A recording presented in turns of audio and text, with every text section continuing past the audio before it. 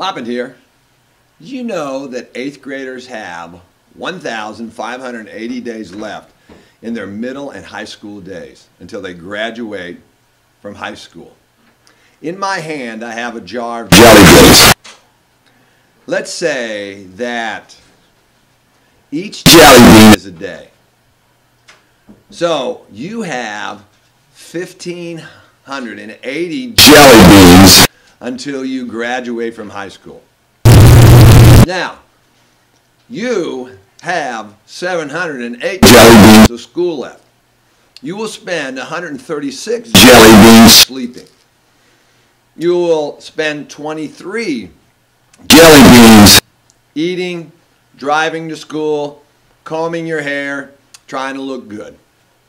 You will spend 152 jelly beans on your phone, watching TV, playing video games.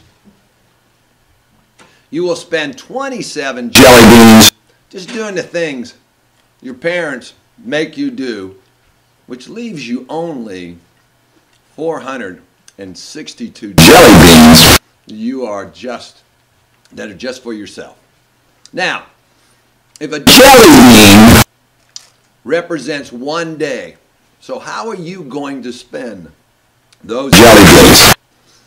Are you going to talk on the phone more? Are you going to be going to sleep more? Are you going to spend time wasting your jelly beans away? With jelly beans and jelly beans, are you going to work more? Or are you going to make a difference in someone's jelly bean?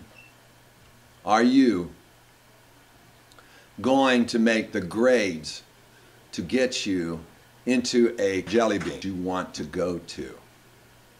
Are you going to make your jelly beans proud? Now, what are you going to do?